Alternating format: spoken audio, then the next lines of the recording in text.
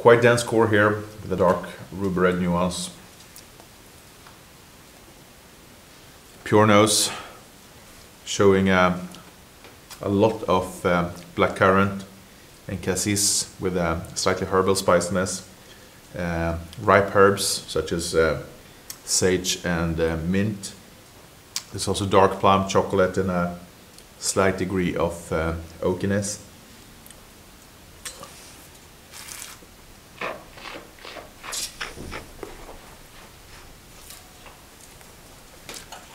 The palate is quite um, round and opulent with a good density of fruit.